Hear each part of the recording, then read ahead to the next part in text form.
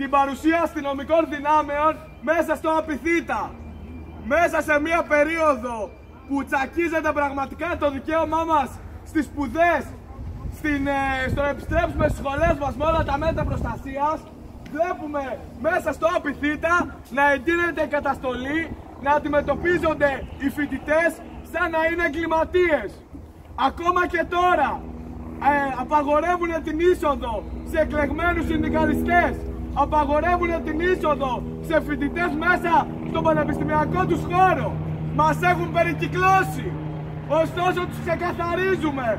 Δεν τρομοκρατούμαστε, δεν πάμε βήμα πίσω. Οι φοιτητές το μόνο έγκλημα που έχουν κάνει είναι ότι παλεύουν για μόρφωση υγεία.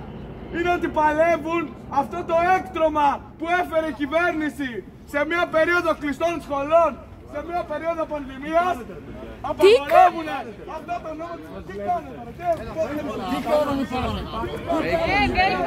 Ε, ε,